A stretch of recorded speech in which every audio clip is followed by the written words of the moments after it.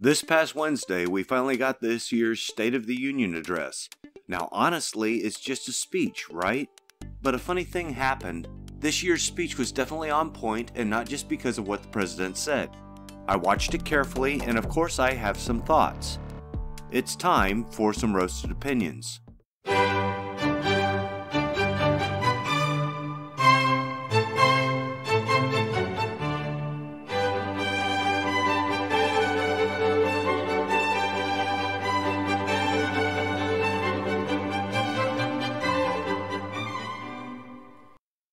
Quick background, folks. The shutdown fight in January delayed the speech as petty partisan politics got involved.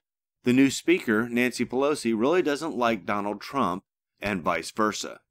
Their personal animus naturally spread to arguing over the delivery of the State of the Union address.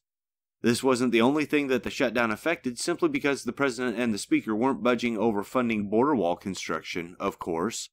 But in this case, I think that the delay to the State of the Union changed the character of the speech for the better. When President Trump addresses Congress, there are always a lot of members, from the Democrat Party especially, who refuse to budge from their seats. They would rather stay firmly seated, looking like they are waiting in line at the DMV instead of listening intently to what the president has to say. We even saw some members who were more intent in keeping up to date on social media than listening to the speech. While I admit that Trump is definitely long winded during his speeches, so was Bill Clinton. As a matter of fact, the average length of a State of the Union speech is 53 minutes. The shortest on record was 28 minutes long. Thank you, Richard Nixon. I would remind Congress of this fact, and if my senators or representative were among those who found their Twitter feed more important than listening to the speech, I would remind them that they can lose my vote in upcoming elections quite easily by not paying attention. During the address to Congress, there were several points of note. He began by pointing out the economy is strong despite the volatility of the last year. The evidence for this was the state of unemployment and the decreasing rolls of those on government assistance. Nearly 5 million Americans have been lifted off food stamps.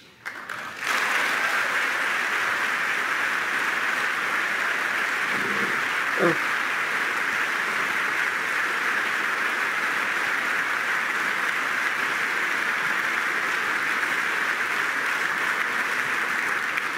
The U.S. economy is growing almost twice as fast today as when I took office. Think about that. Instead of making it harder to qualify for government assistance, his policies have made it easier to find work. Businesses are expanding their payrolls. The principal evidence for this is three things unemployment is low, hovering between 3 and 4 percent. Wages are rising as competition for available labor is tightening, and the labor force participation percentage is rising. More people are choosing to re enter the workforce as more and better jobs are being created.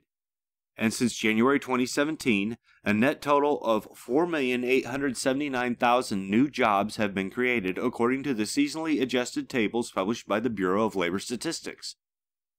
Those numbers do not include January 2017, which I credit to President Obama. By comparison, however, the previous president managed to create 11,621,000 net jobs over eight years, which, if current jobs growth numbers continue, Trump will surpass around June of 2021.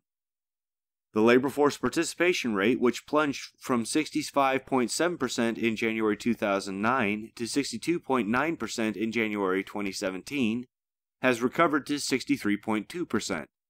The total size of the civilian employment 143,369,000 in January 2009 was 152,128,000 in January 2017 and is now 156,694,000, up about half as much in just 2 years as it grew in 8 under the previous administration. Average weekly earnings of civilian workers in 1982 dollars were $352.46 when Obama took office and grew only $13.77 in eight years. Under Trump, it's grown by $9.58 in two years.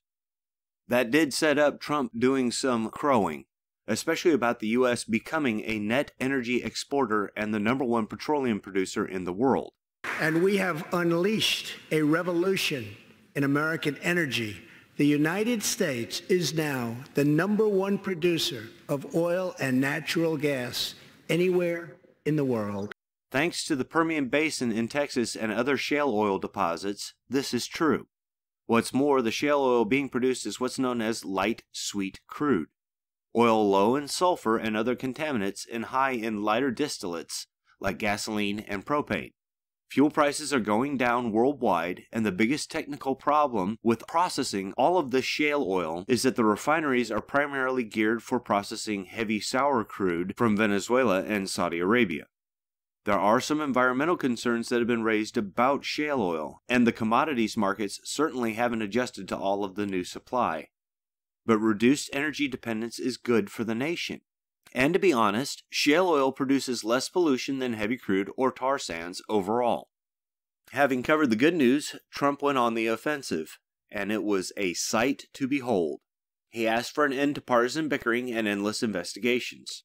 An economic miracle is taking place in the United States, and the only thing that can stop it are foolish wars, politics, or ridiculous partisan investigations. He made his case that the U.S. needed immigration reform along that border wall. Now, Republicans and Democrats must join forces again to confront an urgent national crisis. Congress has 10 days left to pass a bill that will fund our government. Now is the time for Congress to show the world that America is committed to ending illegal immigration and putting the ruthless coyotes, cartels, drug dealers, and human traffickers out of business. He appealed to the defense of women and girls, sparking an uproar on social media when the cameras showed that Andrea Ocasio Cortez remained firmly seated and unsmiling. Really, Sandy? You won't even pretend to support the end of human trafficking? Do you think this is a good image for you? Here's a hint. Um, no. Just no. He then turned to the large group of female senators and Congress members clad in white in remembrance of suffrage and pointed out that more women were elected to Congress and more women are in the workforce than ever before, prompting the only spontaneous celebration from the entire Congress. Americans can be proud that we have more women in the workforce than ever before.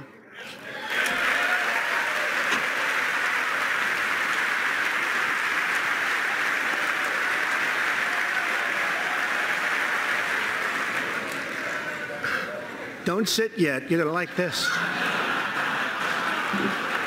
We also have more women serving in Congress than at any time before.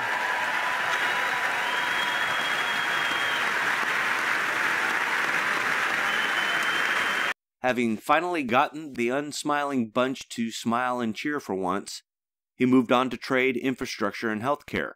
He demanded an end to HIV in 10 years and asked for half a billion dollars to fight childhood cancer.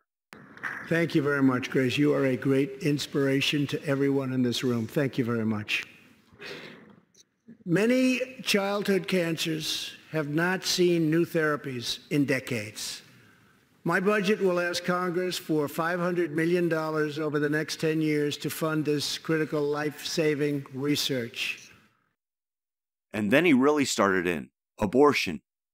I am asking Congress to pass legislation to prohibit the late-term abortion of children who can feel pain in the mother's womb. Defense. Over the last two years, we have begun to fully rebuild the United States military with $700 billion last year and $716 billion this year. Treaty negotiations. We continue our historic push for peace on the Korean Peninsula. Our hostages have come home. Nuclear testing has stopped. and there has not been a missile launch in more than 15 months. Much work remains to be done, but my relationship with Kim Jong-un is a good one. Chairman Kim and I will meet again on February 27th and 28th in Vietnam. Socialism. That America will never be a socialist country. By the end of the speech, I had noticed a few things. Speaker Pelosi was doing an excellent job of looking petty and bored. She shuffled papers, made faces, shuffled papers again, shook her head. I don't know if it was deliberate or accidental on either Trump or Pelosi's parts, but she really looked ridiculous. Ocasio Cortez kept the meme industry production levels up. Holy cow, Representative, you look like a spoiled child. I don't know who you thought that you were impressing, but I don't think that you managed it.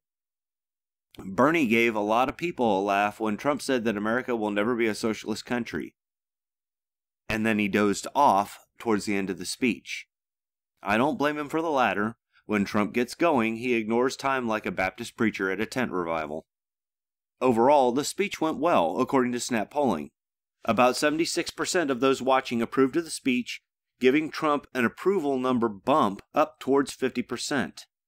I believe that's due to his willingness to make conciliatory statements and offer potential deals to Congress, and also his willingness to castigate every member of Congress for needless delays, including the Republican Party. He also issued marching orders to members of his administration, and I laughed at some of the faces they made as he handed them stacks of work in his speech. Overall, I liked it. Trump is still long winded, but we didn't see much of the Trump finger. He sounded presidential again, as he tends to do when addressing Congress. I wonder if he will still sound presidential next week, when the House under Pelosi's leadership refuses to strike a deal on the wall again. Now that's just my opinion. Comment below to share yours. If you like this video, check out my playlists and check out these channels I have subscribed for more great content. New videos are coming, so watch this space.